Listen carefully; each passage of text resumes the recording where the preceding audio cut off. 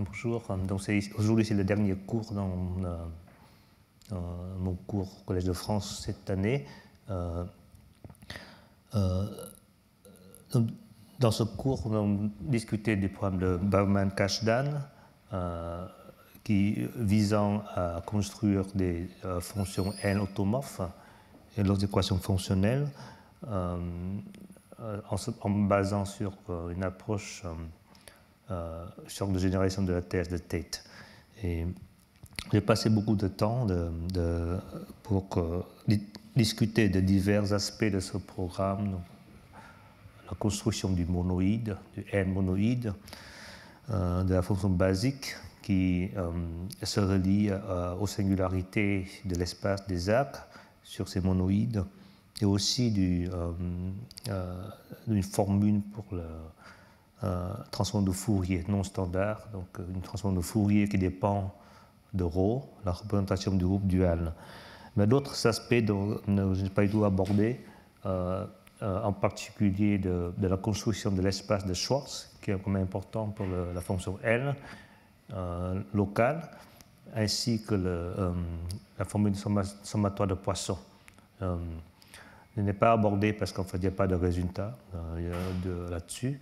Euh, euh, donc aujourd'hui, dans mon dernier cours, ce, ce, que je voudrais faire, c'est en fait discuter d'une possible construction géométrique d'espace noir de Schwartz dans un contexte analogue, pas le même. et, dans le séminaire qui suit, Jay Guest va discuter d'une font des sommateur de poissons, pas sur le monoïde, mais aussi dans un contexte analogue. Et comme ça, nous avons un peu comme une sorte de vue sur euh, les possibilités dans ces programmes. Donc pour l'instant, on n'a pas de conclusion. Euh, euh, c'est encore vraiment un travail en, progrès permanent, parfois l'absence de progrès permanent, mais voilà. Donc, euh, euh, ce, dont, je discute aujourd'hui, en fait, c'est l'un des premiers papiers de Barryman Kashdan sur, ce, euh, sur ce sujet, c'est l'espace, sur l'espace d'affine basique. Donc,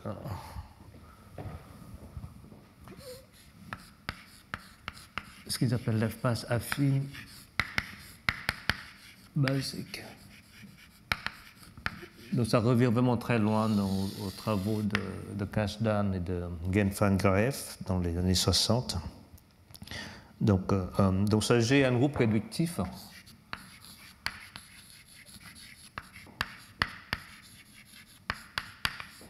Sur un corps local non archimédien. Il y a des possibilités pour faire le cas archimédien, mais je je vais, je vais pas le faire. Donc, euh, je note U le, le groupe, le sous-groupe.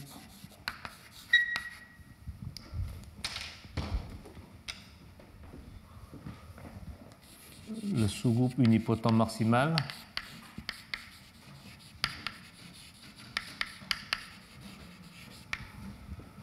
Et euh, l'espace, euh, on a le on a le quotient x, euh, g sur u, euh, qui est une variété algébrique, qui est munie d'une à gauche par g, par translation, mais qui est aussi munie d'une à droite par t. t, c'est le temps maximal. Donc il agit parce qu'il normalise euh, u, le radical unipotent du, Borel. Voilà, donc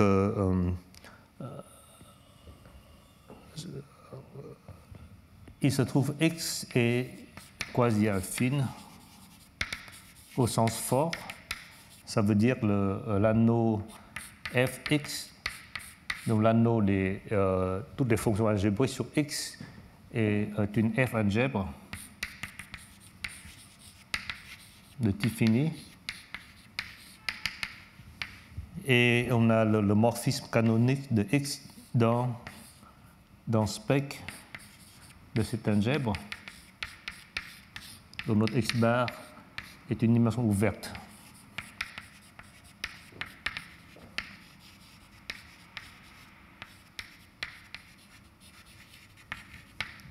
Et c'est ce X bar qu'on appelle, euh, je pense, l'espace affine basique. C'est une terminologie un peu bizarre parce que ce n'est pas l'espace affine en général, mais ce l'est dans le cas où j'ai un SN2. Quand j'ai un SN2, alors euh, donc U c'est le, le, les matrices unipotentes euh, euh, triangulaires supérieures. Alors G mod U, c'est le plan affine privé de, de l'origine donc ça c'est X. Et donc bien sûr la couture affine. Donc ça c'est la couture affine.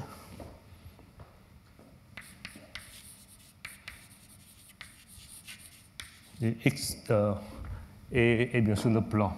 Parce que toutes les, les fonctions algébriques sur le plan euh, privé d'un point euh, se prolongent. Voilà. Et on a des un peu analogues dans le cas pour je restreins au cas G semi-simple, simplement connexe.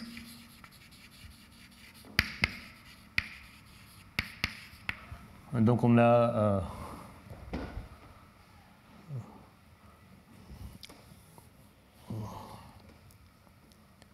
on a donc les oméga 1, oméga n sont des poids fondamentaux.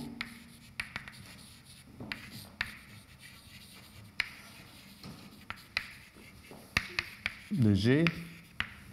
Donc on a aussi des représentations fondamentales de ρ oméga i de G dans GL de, de V oméga i. Donc dans chaque euh, oméga V oméga i, on va fixer un vecteur euh, VI+, ce sera le vecteur de plus haut poids, un, un vecteur de plus haut poids, qui est, donc, qui est, euh, qui est fixe euh, par, par l'unipente supérieure. Du coup, euh, si on note V,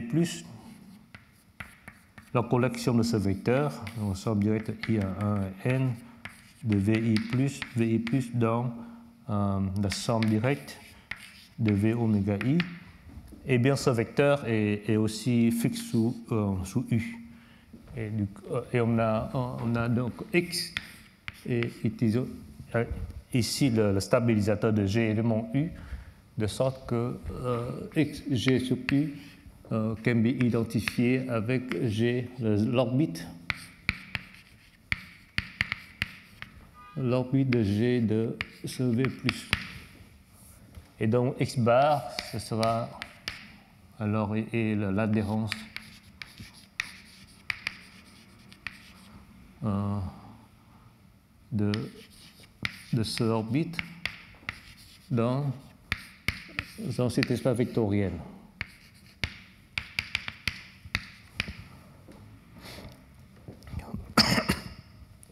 En fait, par cette description, on voit bien qu'il y a une, euh, stratification de X bar donc si vous avez un, vecteur euh, dans, dans, cette orbite, donc x bar c'est une, euh, sera un, euh, un sous-schéma fermé de, cette somme, donc dans les directions de VI dans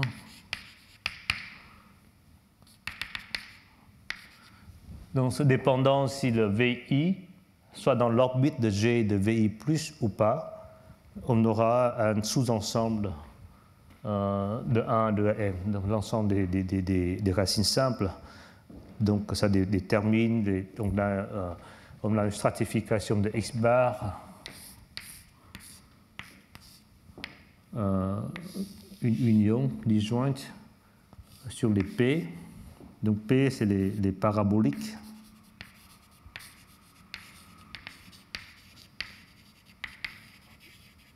contenant U et de XP. Donc les strates XP, de nouveau, ça correspond à un sous-ensemble. On voit si le, le, coordonné VI soit dans l'orbite ou seulement dans l'adhérence, ça nous donne XP. Et on peut, avec un peu de calcul, on trouve XP, CG divisé par le commutateur de P, de P avec lui-même. Donc voilà la description de, de ensembliste de cet espace affine basique. Et donc en général, X bar est un X bar n'est pas lisse à des singularités. Sauf si G est de rang semi-simple 1.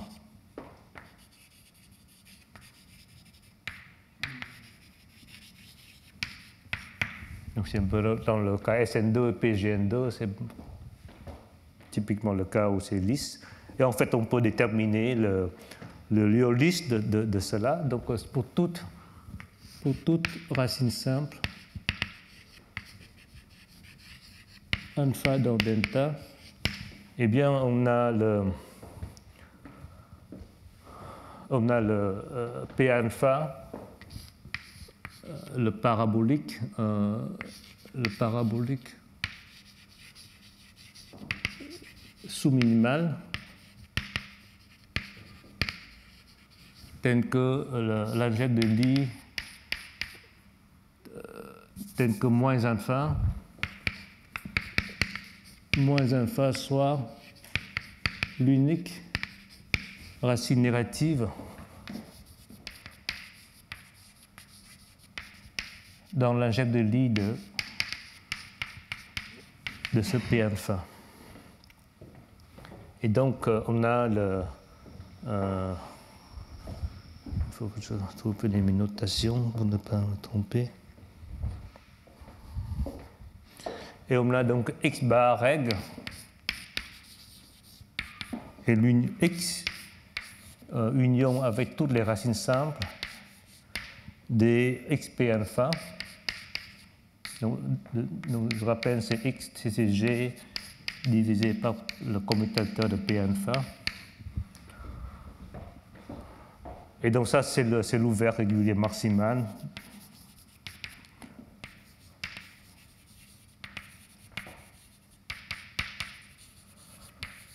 de x bar. Donc en fait, c'est assez facile de voir que c'est régulier parce que ça se ramène au cas de rang 2. Et pourquoi c'est maximal en fait, Je n'ai pas, pas lu les démonstrations, mais en, en, tout cas, euh, c'est affirmé dans le papier de Bauman Kashdan. Mais je crois, je crois que ce n'est pas très important non plus. Donc, on, a, euh, on va donc, donc ça, c'est typiquement les diviseurs. Sont les diviseurs de, de de x Donc, euh, euh, donc c'est quelque chose qui est régulier en codimension 1. Et donc, on a x bar alpha. Donc, on continue à discuter un peu la structure de cette variété algébrique. Donc, on a x bar alpha, c'est l'union de x avec xp alpha. Donc, on ajoute juste un diviseur euh, correspondant à cette racine simple alpha. Et donc, on a, un morphisme de ça vers xp alpha. on a un morphisme de, euh, euh, de l'union de x, donc le, G, G, mod U avec euh, le diviseur correspondant à alpha vers ce diviseur. Et en fait, ça ramène vraiment à ce cas-ci. Donc le x ici, c'est G mod U. Donc bien sûr, ça c'est G mod P alpha commutateur avec lui-même. Et U, c'est un sous-groupe de, de ceci. Donc c'est typiquement, on a, euh, ici c'est unipotent, mais ici un bout de SN2 dans, dans ce PNFA, PNFA. Et donc on a ces fibrations-là, où ça c'est une fibration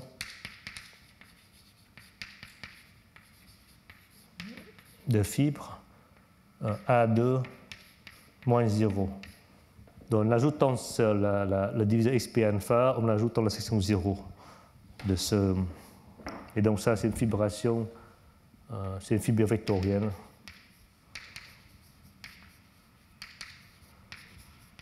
de rang 2. Voilà. Voilà, donc c'est un peu la discussion euh, sur cet espace basique. On, commence par G, G, sur U. C'est un schéma quasi-affine, dont la clôture affine, c'est euh, euh, un schéma type fini contenant x comme un, ouvert dense. dans le cas SN2, c'est A2 qui contient A2 privé de 0.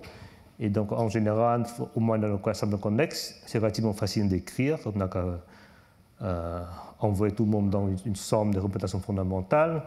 Et euh, G mod P, c'est l'orbite du, de la, des, le, vecteur qui, qui, dont, les coordonnées sont des vecteurs de plus haut point. Et x bar sera l'adhérence de, cette orbite.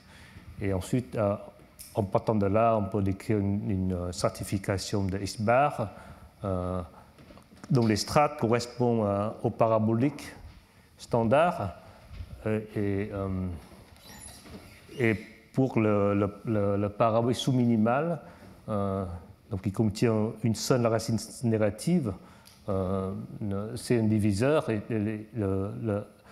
la partie régulière de x bar est, est x euh, union avec ces diviseurs. Et si on ajoute un seul diviseur, là, on, se ramène en quelque sorte au KSN2. On a une, une fibration euh, vectorielle de rang 2 sur le XP alpha. Donc, voilà.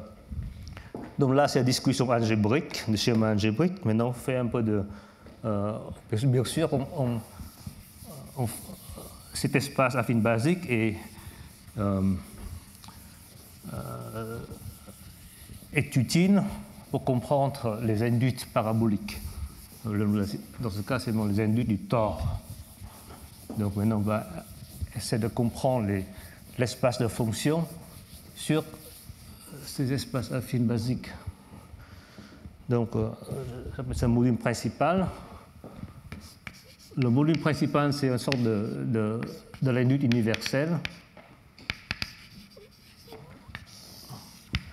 Donc, euh, on va noter M comme module principal, c'est l'espace de fonction lisse à support compact sur, sur X de F. Donc, il n'y a pas de, on n'a pas ajouté de, de, des bords. On prend simplement le G, sur U.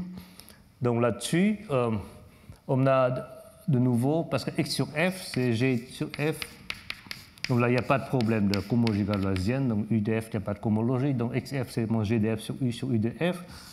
Donc à, gauche, on a l'ensemble de GDF. Et à droite, on a l'ensemble du, temps maximal. Donc du coup, ce M est un module sur l'algèbre de, euh, de fonctions, ou plutôt de, de mesures euh, à support compact sur GDF et aussi commutant et, euh, et c'est l'algèbre de mesure euh, localement constante, donc support compact sur le tort. Et à gauche, il n'y a pas de problème, mais à droite, il faut rappeler qu'il faut, faut l'action l'action de CC de f sur m est définie en, en tenant compte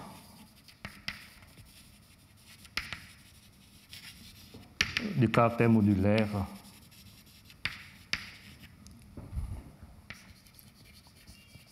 Donc là, c'est vraiment la formule, je me trompe chaque fois. là, je ne suis pas entièrement sûr de ma formule.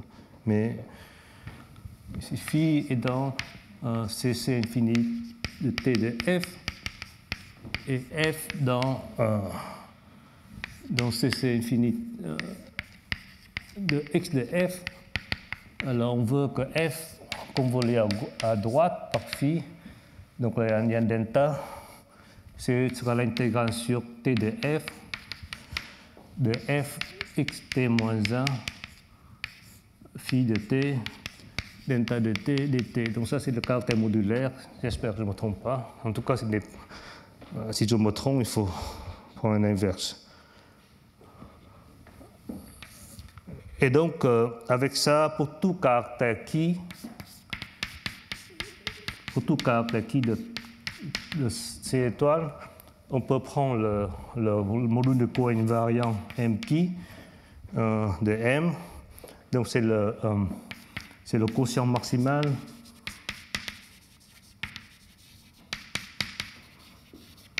de M sur lequel T de F agit par qui. Non, c'est bien défini. Et, ça, c'est l'inbut. Normalisé. ITG de qui donc, euh, cette construction euh, permet justement d'interpoler tous les normalisés en un seul, donc un seul module M.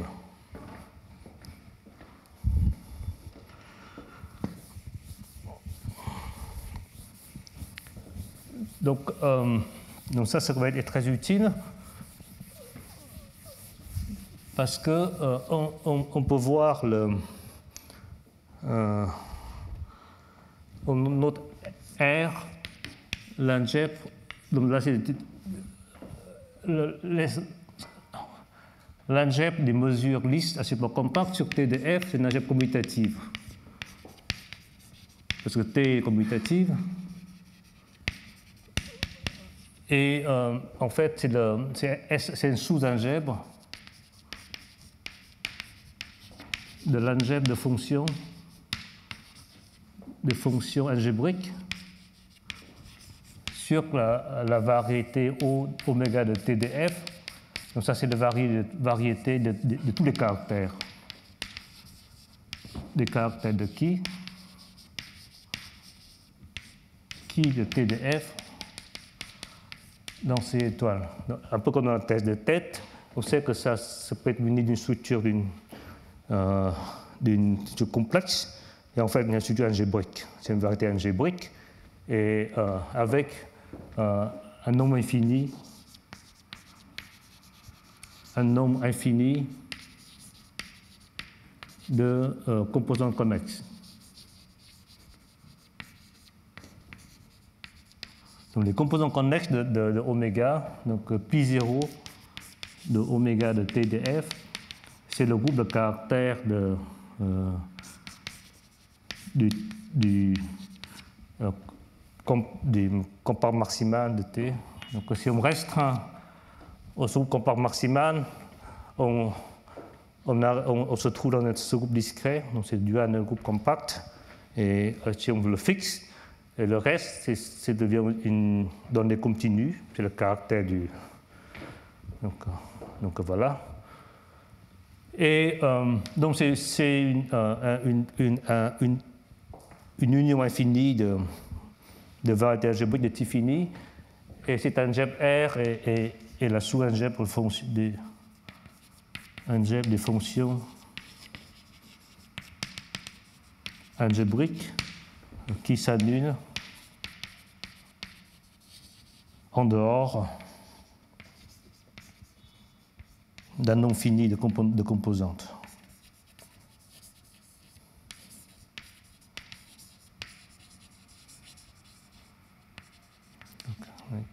Donc, euh, pour chaque composant, c'est une algèbre euh, euh, de type fini sur, sur, le, corps, le nombre complexe, tout ce qui est plus gentil. Et puisqu'il y a un nombre de de composantes, l'algèbre de toute fonction sera une, limite projective, qui n'est pas sympathique. Mais si on prend limite inductive, on, trouve bien cette algèbre R de, algèbre R de, des mesures localement constantes et euh,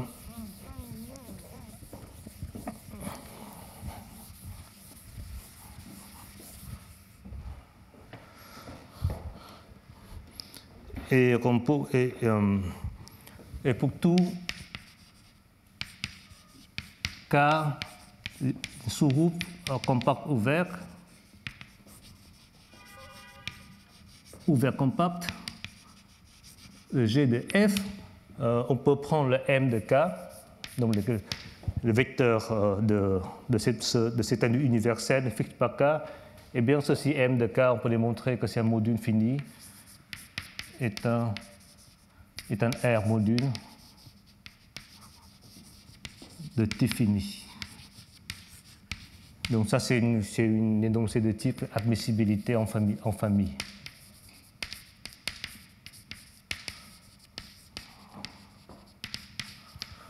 je ne connais pas les références pour tous ces, énoncés, mais c'est essentiellement dans les, dans, les, dans les, travaux de Bernstein. Euh, en tout cas, MK, il est déjà supporté par, euh, il est un nombre fini de composantes.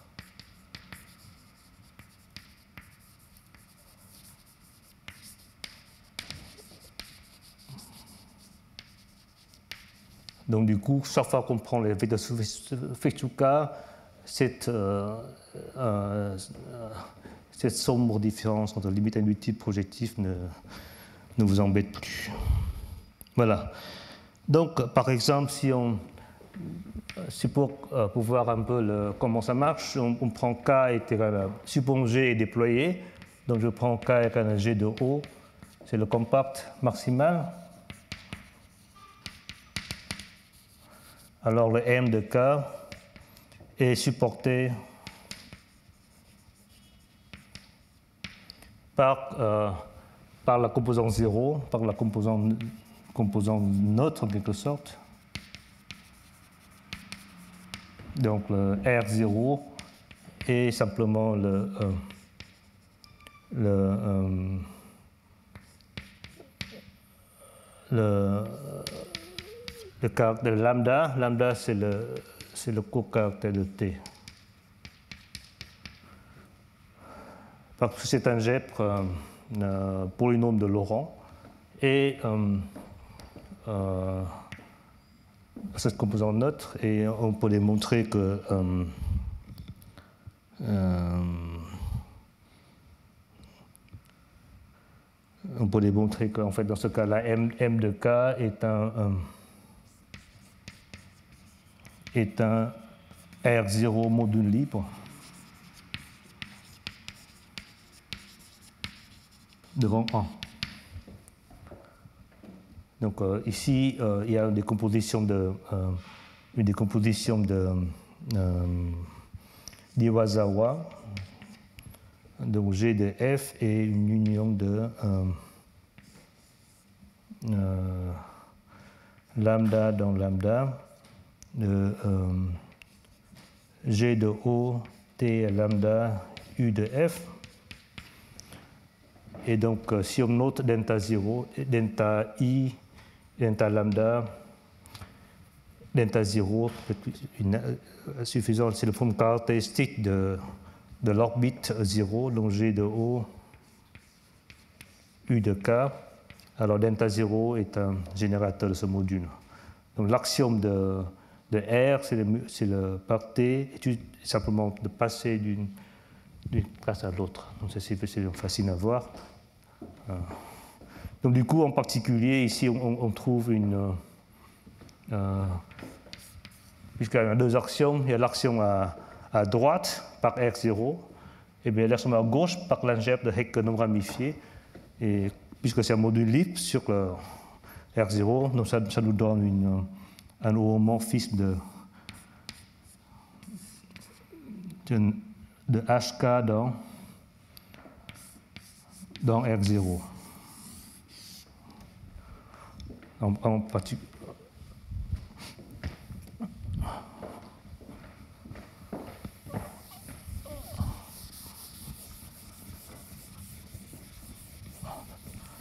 si on fait la même chose avec, au lieu de, au lieu de K, on prend Iori, donc I c'est le, le, sous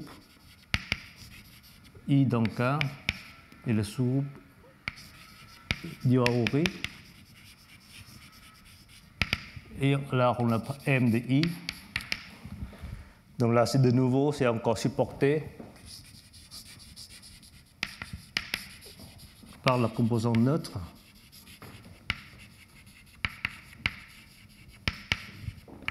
de oméga. Mais ce n'est plus du tout, ce n'est plus de, euh, ce plus de rang 1. Donc en fait, c'est MI est un, est module euh, libre sur R0 de rang l'ordre groupe de Weil. Enfin, plus précisément, on a euh, ici maintenant MI et une axe à gauche sur R0 et une à droite par l'algèbre Iori. Et on peut démontrer que MI est un module libre de rang A sur, sur HI. Alors, euh, pour, pour, le voir, on a une des compositions un peu similaires de, de G et de F, maintenant sur l'union sur les, sur W, Tinda, dans W Tinda. Et ça, c'est le groupe de Weil étendu. C'est le groupe de Weil affine étendu. Et donc ici on a I, W Tinda, donc une sorte de, représentatif représentant de W Tinda de, et U de F. Et si on, note delta I 0 et euh, la façon caractéristique de I de U de F, eh bien, euh, on peut démontrer que MI, MI donc les, les, les vecteurs sous de ce, cet universel, est un module libre de rang 1, est un HI module libre.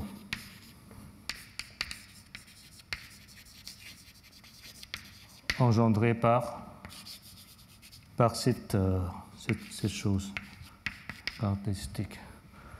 Donc du coup, maintenant, euh, dans, le cas complètement non ramifié, euh, le, vecteur k fixe est un module libre sur R0. Et quand on prend i fixe, c'est libre sur l'autre côté, sur hi. Donc du coup, on a un, canonique un homomorphisme de R0 dans. Donc on a R0 dans HI. Donc après, on peut composer. Donc, on a Donc toutes ces discussions-là, euh, c'est dans le papier de. Pour les plus détails, vous voyez dans le papier de, de Haynes, euh, et Prasad. Donc, a une exposition très jolie des travaux de Bernstein sur la présentation de Bernstein de l'âge du Hori. Donc, ça, ça vient vraiment de, ce, de cette chose.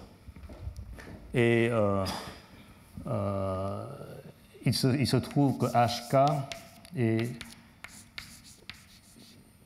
et le R0W, c'est euh, la partie fixe W de R0 qui est l'isomorphisme de Satake.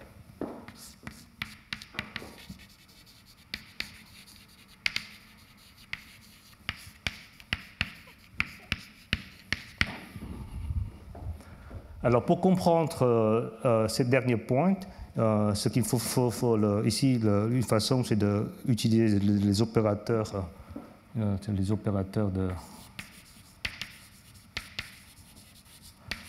d'entrelacement normalisé.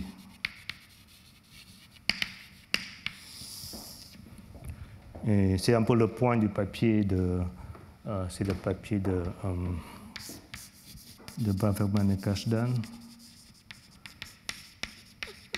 euh, dont je parle aujourd'hui, c'est des euh, Schwarz, Schwarzspace.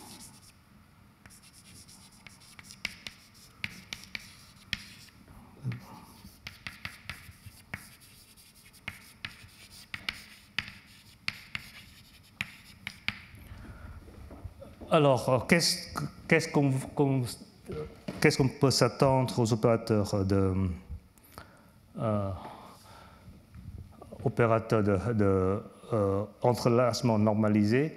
Essentiellement, ce qu'on veut faire, c'est si on note euh, ici, si je note, si je note L, le N, le, le, le, corps des fractions, donc de, R0.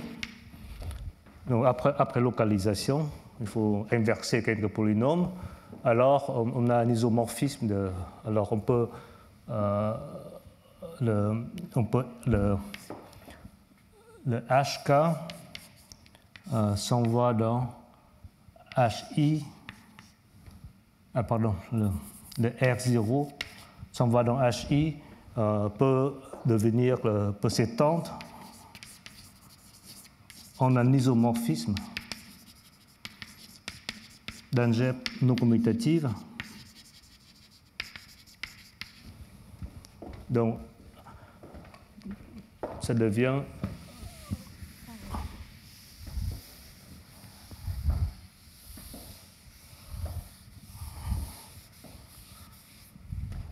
ça devient W, isomorphisme avec HI, tenseur KL. Donc, euh, donc ici, c'est l'algèbre, euh, c'est l'algèbre de. Je ne connais pas la terminologie, l'algèbre de groupe croisé.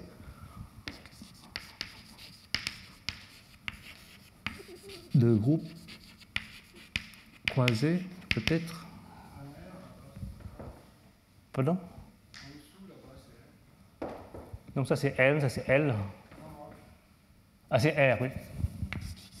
Merci.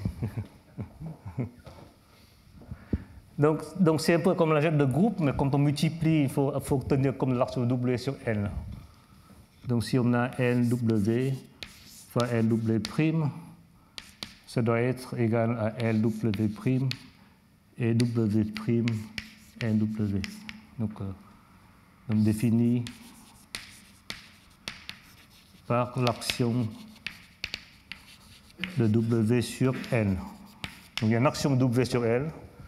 Donc c'est une sorte de polysomie directe en algèbre. Euh, en anglais, ils appellent ça West algebra. En français, c'est peut-être l'algèbre croisée. En tout cas, donc, tout cas, vous voyez, ce qu'on voulait dire, c'est que cette algèbre est, est essentiellement cette algèbre croisée. Donc elle l'est, après on a une assez euh, d'éléments dans R0. Et donc, euh, donc, un élément de base ici s'envoie sur un élément ici, donc ça va être l'opérateur d'entrelacement euh, normalisé. Donc il a cette propriété comme si, si on multiplie, ça se multiplie bien contrairement à l'opérateur d'entrelacement non normalisé. Et donc, euh, pour le faire, donc je discute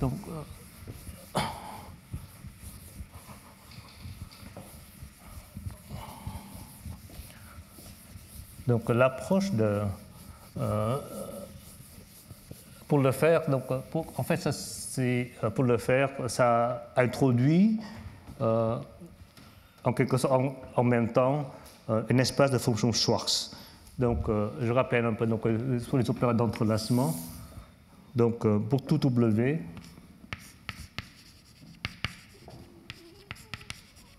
dans le, dans le groupe de va fini, on a, on a un opérateur d'entrelacement non normalisé, donc, euh, qui consiste à, justement à, une intégrale sur l'autre l'autre unipotent. Donc euh, c'est IW qui va de M qui vers MW qui. Euh, donc qui est défini, il n'est pas partout défini, pour les qui en dehors pour presque tout qui, donc en dehors d'un fermé de Zariski.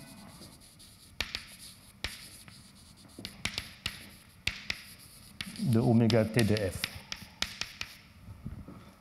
Donc c'est l'intégrale usuel. Donc l'intégrale quand on, on c'est essentiellement on veut passer de, de m de u vers m de wu, donc on l'intègre sur l'autre parabolique. Et l'intégrale a un sens, mais euh, on n'atterre pas forcément sur les, sur les fonctions support compactes. Et ça, ça marche quand pour les, euh, ça induit ça pour, les, pour, pour, presque tout qui, mais pas pour tout qui. Donc, euh,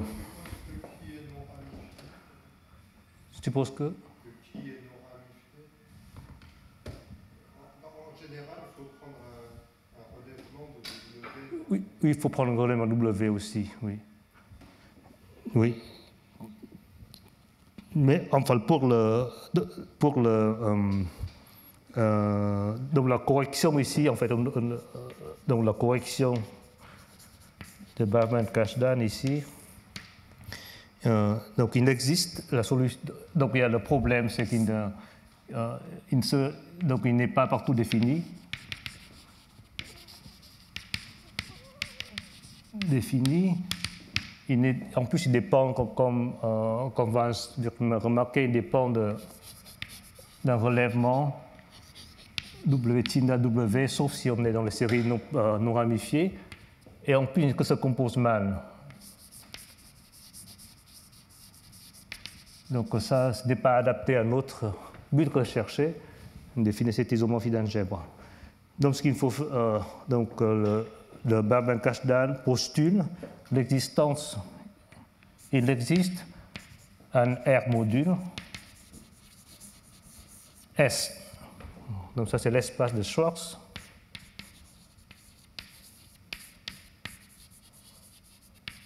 Donc qui contient, donc, contient le M qui contient M, euh, donc, et qui induit un isomorphisme.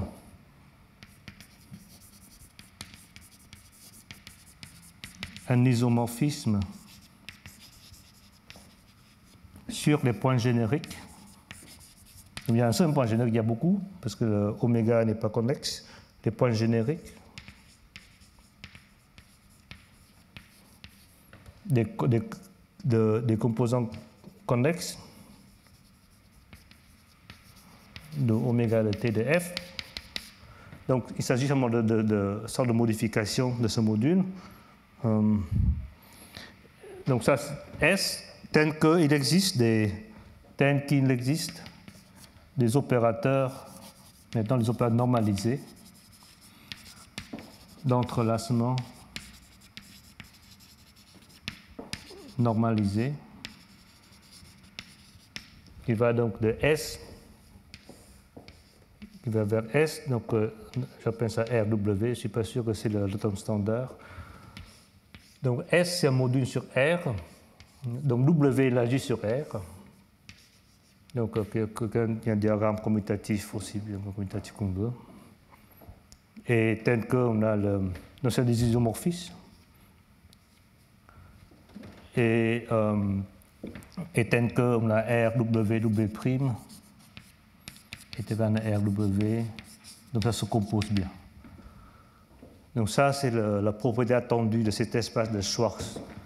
Il faut modifier le module, faire modification du module, euh, module principal, le module de série principale. Euh, on peut faire modification de sorte que sur cette modification, on peut définir euh, les, les opérateurs d'entrelacement normalisés soit bien définis, sont bien des isomorphismes qui sont semi-linéaires sur R. Donc c'est ça le but. Donc euh, dans, dans, ce contexte, euh, euh, ces opérateurs d'entrelacement normalisés jouent un peu le rôle de, de, de noyau de Fourier au Fourier que, que j'ai cherché à construire depuis le début du cours. Donc, en tout cas, ici, euh, il y a des candidats, enfin, c'est presque faisable, euh, en tout cas, c'est expliqué dans le papier. Euh, et on a une, les candidats, en tout cas, l'histoire ici est assez compréhensible.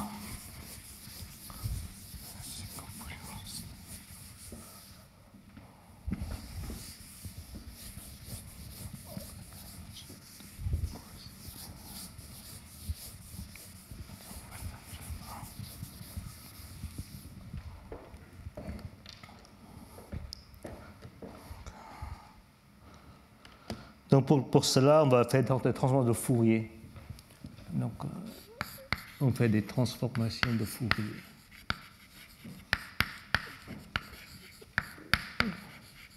Donc au lieu des, des, opérateurs d'entrelacement non normalisés, qui est une sorte de transformation de radon, euh, on, définit une transformation de Fourier, donc qui est, une sorte de transformation de, de, de, radon avec un terme correcteur. Donc pour toute racine simple,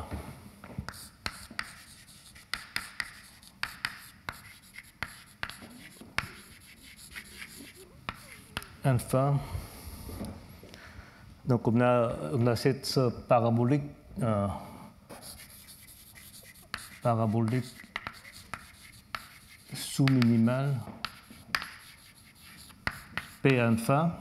Et on avait cette, ce diagramme, donc euh, x bar alpha, qui est x, pardon, union avec xp alpha, s'envoie sur xp alpha. G sur le commutateur de P alpha. Donc ça c'est une fibre vectorielle. Une fibre vectorielle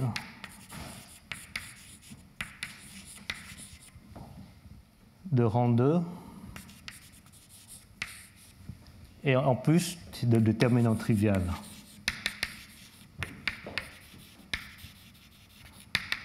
Non trivial.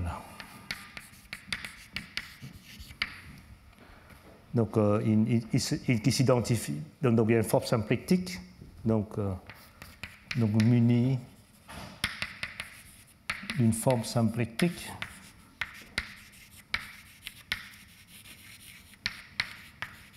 Donc, qui permet d'identifier, qui permet de l'identifier version duale.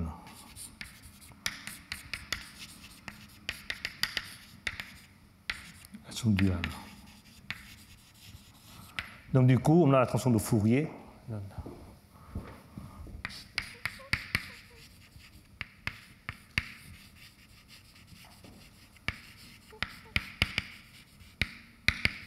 de Fourier qui euh, on peut définir l'espace de Schwartz, donc là c'est des euh, sur x bar alpha, donc là c'est le Fourier R alpha, vers lui-même. Et euh, ça s'injecte dans les fonctions N2.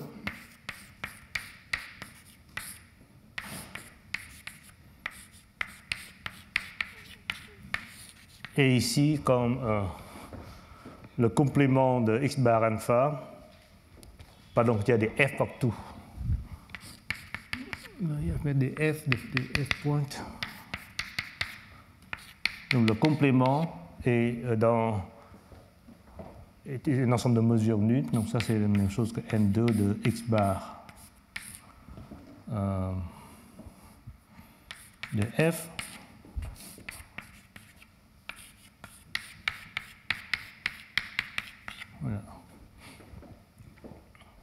Et donc, le, le, ça c'est le. Et je pense qu'il faut modifier un peu pour que ce soit vraiment évolutive. Donc les R alpha sont évolutives. Et ça définit une action de W sur N2 de, sur l'espace N2 de sur l'espace basique. Donc ça, c'est le point qui me, en fait, euh,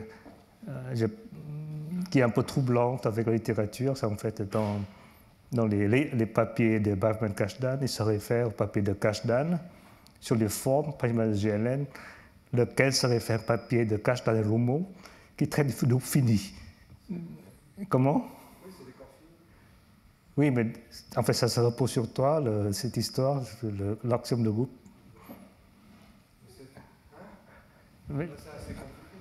C'est l'eau fini, mais en fait, même dans le cas, dans le cas de Coloco, c'est censé de se référer à ce papier-là. mais bon, en tout cas, je pense que ça, devait être bon. Donc c'est le seul point que, en fait, que je n'ai pas compris dans, dans, cette histoire, c'est le... Mais en tout cas, dans le, dans le cas de Corfini, dans le cas de Corfini, c'est fait dans le papier de cache dans monde.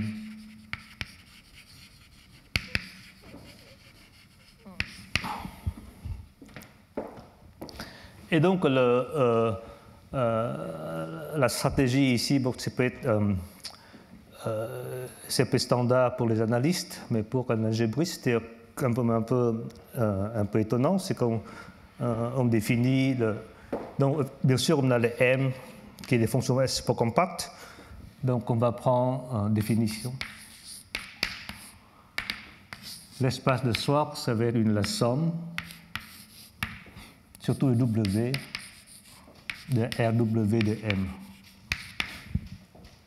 Donc on a les fonctions compactes dans ce N2, donc ça agit, on prend la somme de, toutes les transformations de Fourier, de Weyl, et ça, c'est à définir l'espace de Schwartz. Et donc, ce serait vraiment bien de, comprendre euh, cet espace de façon plus géométrique euh, plutôt que de faire ces sommes. Donc, ce que je vais essayer d'expliquer. On a un candidat.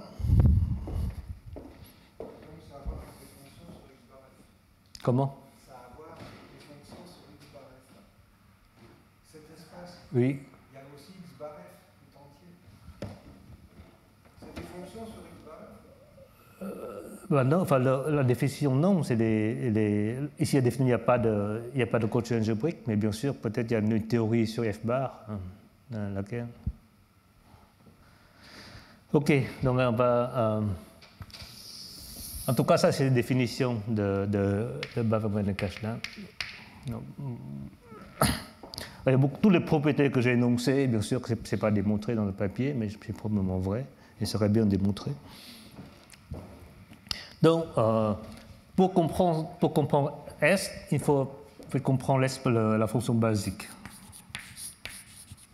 Donc, si le delta 0, euh, qui est la caractéristique de KUF, et une sorte de, fonction basique de M, eh bien, il faut trouver la fonction similaire qui est une fonction basique de cette espace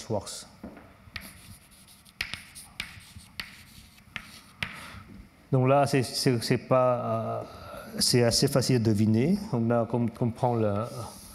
donc, euh, on delta 0 qui est cette fonction de caractéristique de KU, et on peut faire opérer ces opérateurs de, de Fourier là-dessus. Et si vous calculez pour R0 de delta 0, eh bien, trouvez cette formule. Donc, c'est 1 moins Q moins 1 de T moins alpha check. 1 moins Q moins 1 de T alpha check de delta 0. Donc, l'opérateur de Fourier euh, défini par une racine euh, multiplie cette fonction par ce, quotient. R alpha, oui, merci. Et donc, euh, et la, fonction basique, par, définition, on aimerait bien qu'elle soit invariante par ces opérateurs. Donc, euh, il faut faire ce qu'il faut pour que ces, pour que euh, ces fractions disparaissent. Eh bien, la,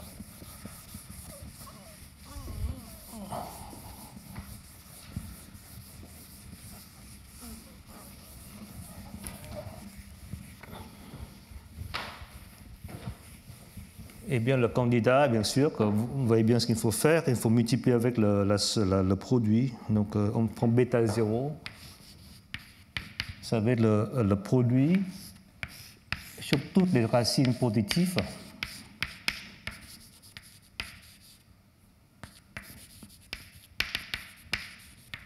Donc, de 1, 1 moins Q moins 1, T alpha check de delta 0. Et bien, vous, quand vous appliquez, vous, vous trouvez bien ce qu'il faut parce que il y a juste changer un alpha moins alpha. Donc, euh, et on trouve bien que, que, R alpha de bêta 0 est égal à bêta 0. Vous voyez que le, s'autorisant à inverser tous les qu'on veut, c'est à faire ce, genre de manipulation, de, trouver des, des fonctions qui soient fixes. C'est pour ça que c'est utile de, tensoriser par L, même si en fait il n'y a que des polynômes comme ça qu'il faut inverser. C'est les polynômes sur lesquels les séries, les séries principales deviennent là. Et donc, si on peut aussi, si on veut, ça va être utile de,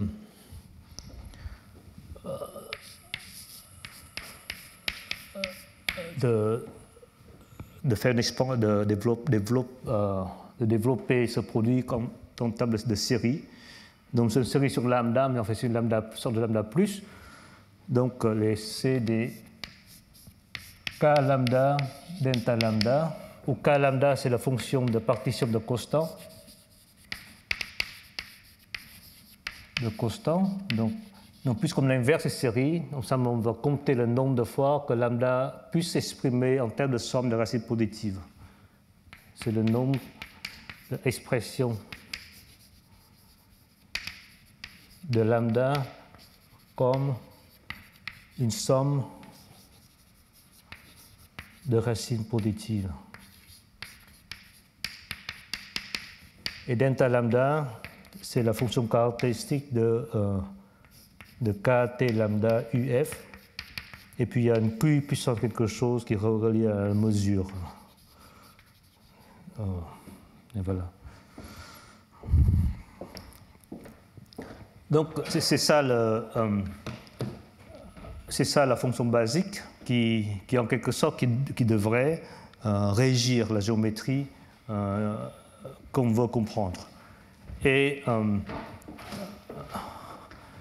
cette fonction basique était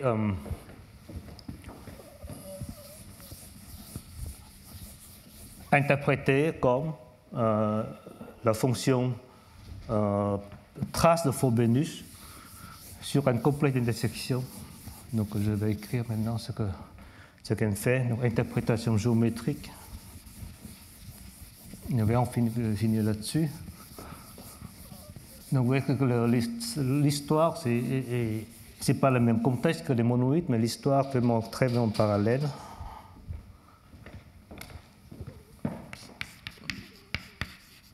Interprétation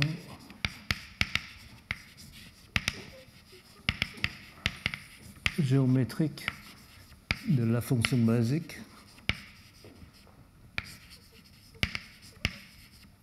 Delta bêta 0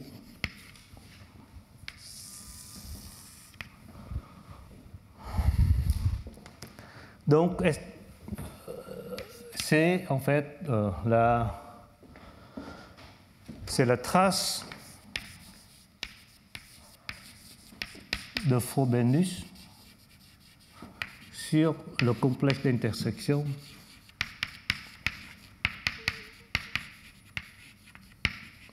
de, de l'espace de, L x, bar. Donc quand on veut un n rond, ça veut dire que l'espace des arcs euh, égal 0. Donc c'est l'espace des arcs nombre dégénéré de euh, de, euh, de x bar. Donc, nombre de G, ça veut dire que comme, comme, comme, a un arc dans x bar, mais on veut bien que le point générique s'envoie dans x, dans la partie liste, dans G sous U. Et, euh, et de nouveau, donc ça, c'est les résultats qui sont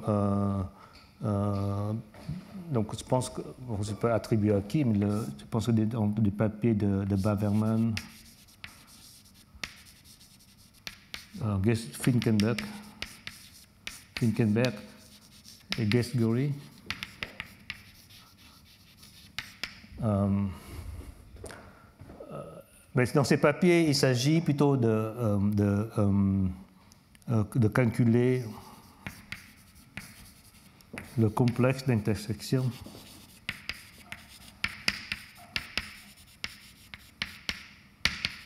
des, euh, de, l'espace euh, de l'espace de module de l'espace euh, qu'ils appellent le band débat. Donc c'est un espace global, donc c'est l'espace de module des, des, des, des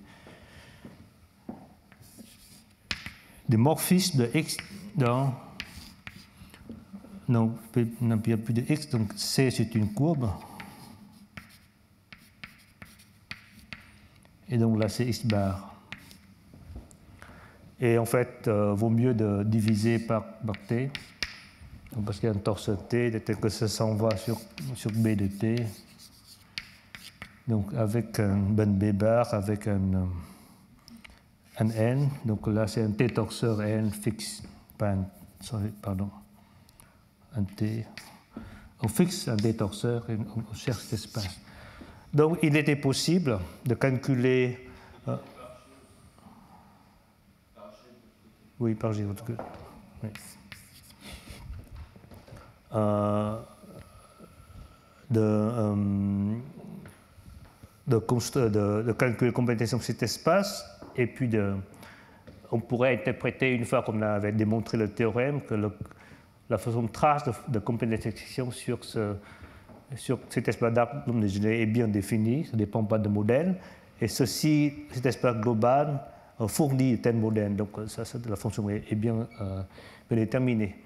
Euh, de ce, dont je veux discuter, c'est en fait une, euh, dans le cas, dans le cas G SLN, on a des, des plus explicites, plus explicites, grâce à, la réserve de Lomont. On le trouve partout.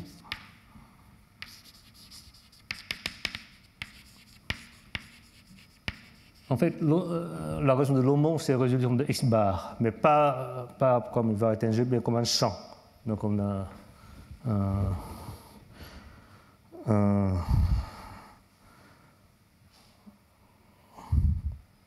donc on a Y qui s'en va dans X bar, et ça c'est un champ lisse. En fait, je, en fait, je, je, J'arrive pas à formuler ce que c'est que résolution d'un champ, mais en tout cas, c'est, ici ça marche. Euh, qu'est-ce que c'est ce Y ici? Et c'est vraiment bien qu'on a retrouvé un Y pour d'autres groupes, mais. Euh, euh, donc, qu'est-ce qu'on fait? Je rappelle que donc, dans le cas.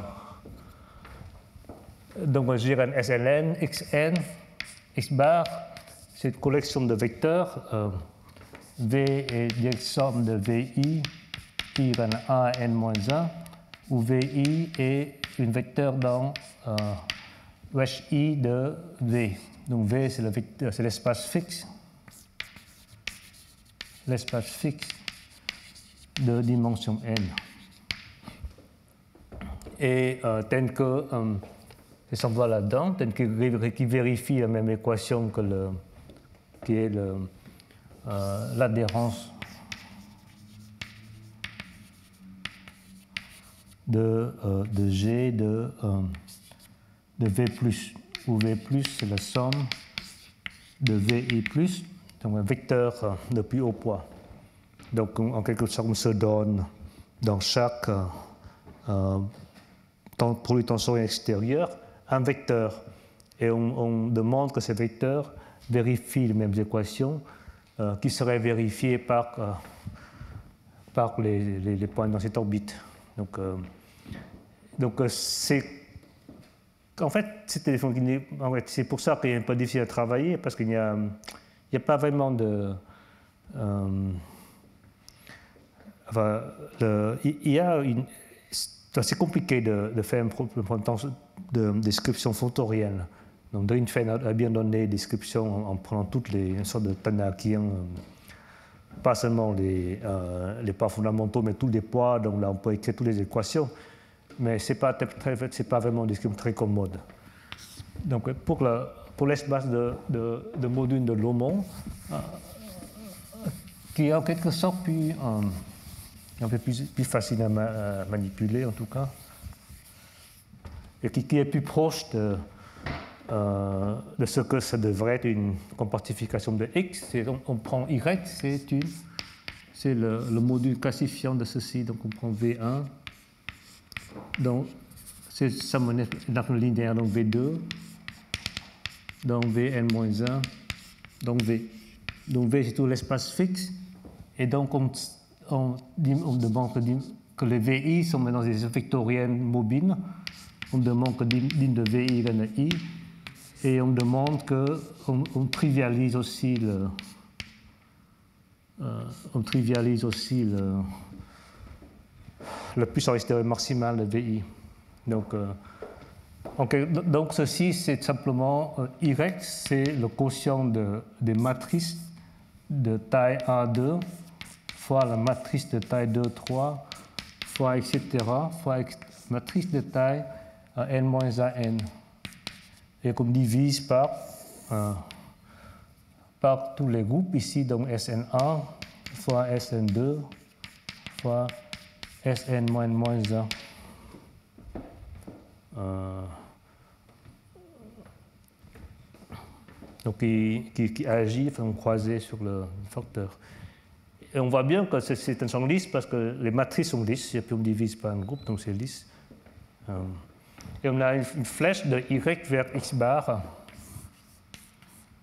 en envoyant bien sûr le, euh, le, on a donc les VI, on a le, le wesh I de VI, s'envoie dans wesh I de V, et puisque ceci est une, euh, on l'a trivialisé, donc on a bien un vecteur VI dans wesh I de V.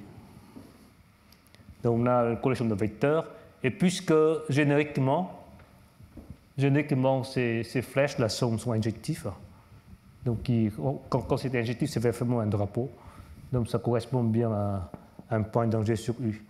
Donc les, vecteurs définis de cette façon est bien dans l'adhérence. Et donc c'est vraiment une résolution de cette adhérence.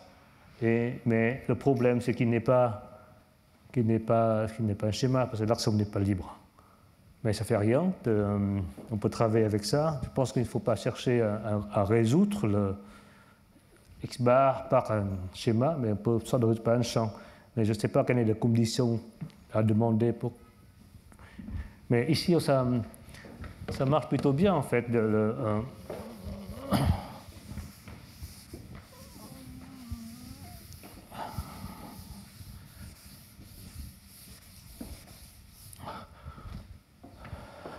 Donc là, ici, je donne une interprétation,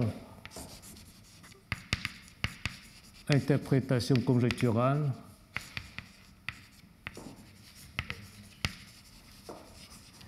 de la fonction basique et de l'espace Schwartz.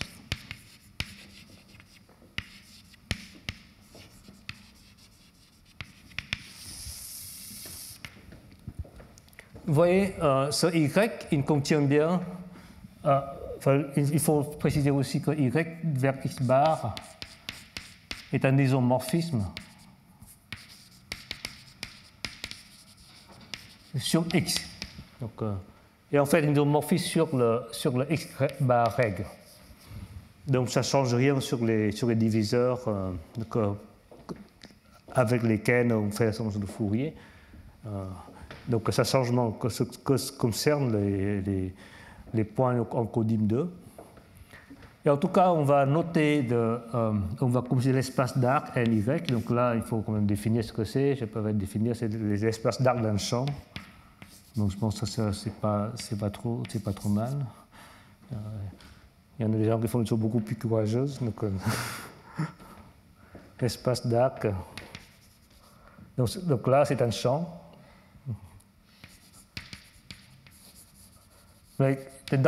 Si on a un ouvert sympathique, c'est l'ouvert des arcs non dégénérés N0, Y. Donc là, c'est des arcs euh, Y qui va de spec de K double parenthèse double crochet T dans Y, tel que si on restreint euh, au point générique, on s'envoie dans X, on s'envoie dans le, dans le G sur U. Donc là, euh, il n'y a plus, de, stabilisateur. Donc ça, c'est vraiment un espace. Donc ça, ça, ça doit être un, schéma. Donc je n'ai pas de montrer, mais je, je pense que c'est un schéma. Donc les espaces d'arc en général, c'est vraiment moche. Mais l'arc de durée, c'est vraiment un champ d'être un schéma, donc on peut travailler là-dessus. Il n'y a pas de problème. Maintenant, euh, il faut bien voir pourquoi on, on, on voulait euh, si on veut vraiment que ce soit lisse. Parce que si c'est lisse, on peut faire une mesure là-dessus. Donc on a, euh, puisque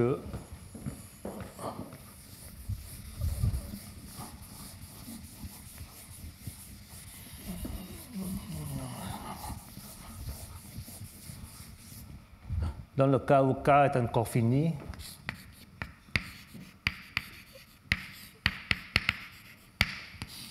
on a une mesure canonique sur le L 0 Y de K. Donc je rappelle, donc ça c'est la mesure de veille. Donc lorsque Y est un schéma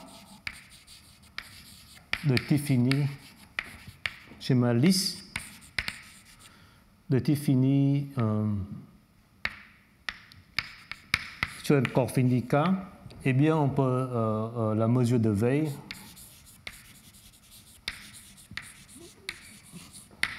sur, sur Y de O peut être défini comme suit.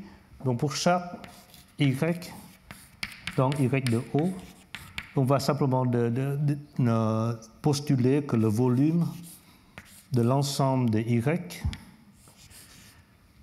Y' qui est congru à Y, modulo T puissance n, soit de, volume Q moins n. Donc ça, c'est la veille définie par les formes différentielles, mais on pourrait le définir aussi comme ça, et ça ne change rien.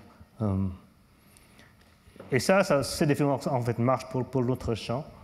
Donc, euh, donc Y est maintenant qui est, un, qui, qui un, champ, mais qui contient X comme un ouvert, qui est un, euh, qui est un schéma, un sous-schéma ouvert. un champ lisse. Alors on a, on a notre L0 de Y de K. Et chaque fois qu'on a un Y dans, dans N0 Y de K, il existe N, tel que à chaque fois que si Y' est congru à Y, mod Tn, alors, alors Y' est aussi un, arbre dégénéré.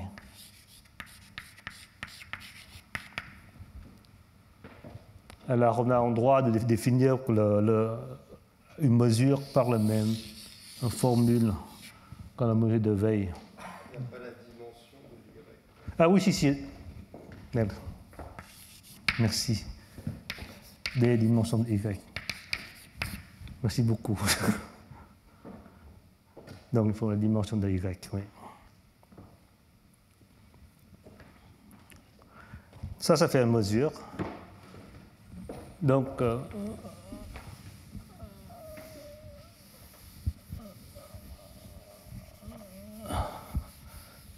donc la fonction basique. Donc, euh, du coup, maintenant, on a donc on a, on a cette, en fait, on a cette flèche dans, dans x de f en prenant la fibre générique. Mais il faut bien voir que cette flèche n'est pas injective. Parce qu'un point générique se relève en, beaucoup de points parce qu'on a un champ.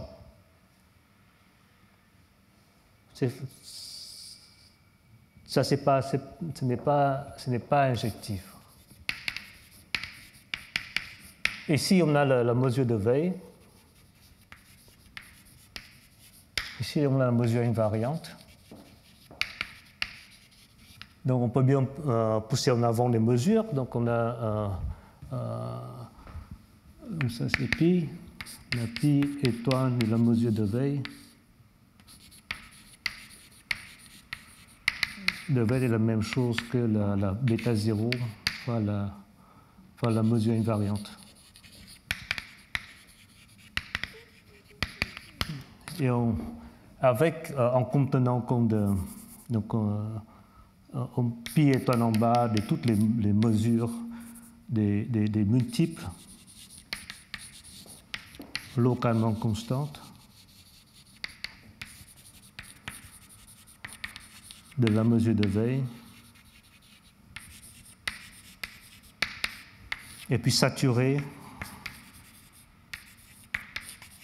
par l'action du tort. Ça devait être l'espace de Schwartz.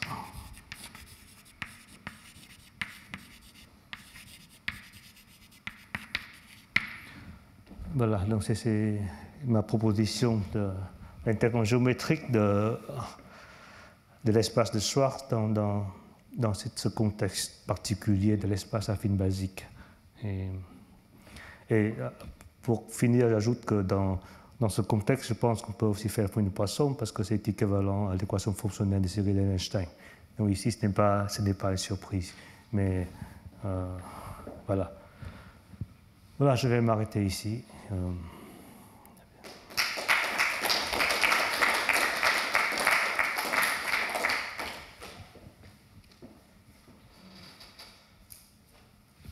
Donc, s'il n'y a pas de questions, ça vous donne 15 minutes. Oui.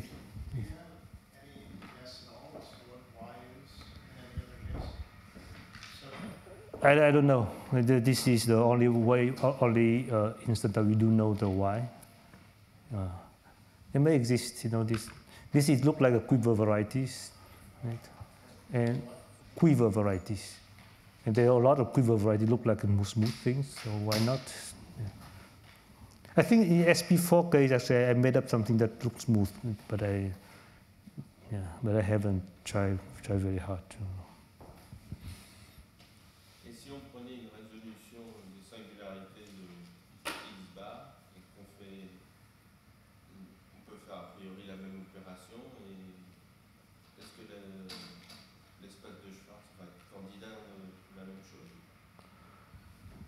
Non.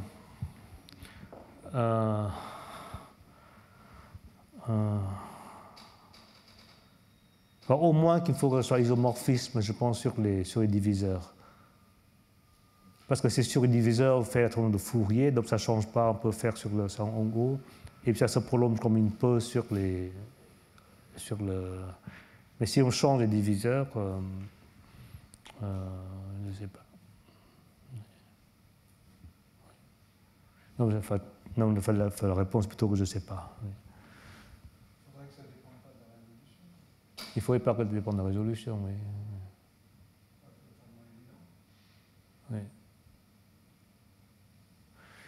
Oui. Mais quand même, je trouve que le.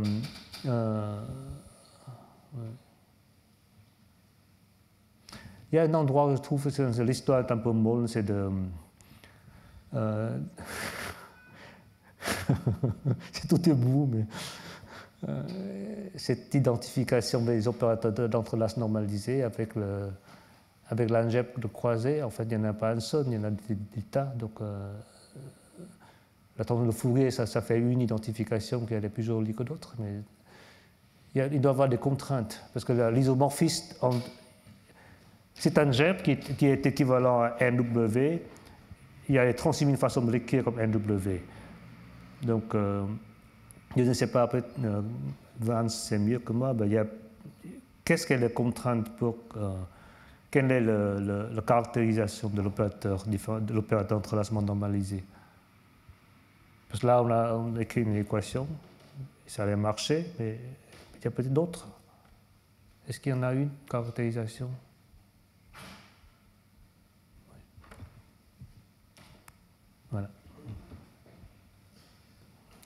Donc, merci beaucoup. Merci beaucoup pour euh, venir à mon cours avec, avec patience. Merci.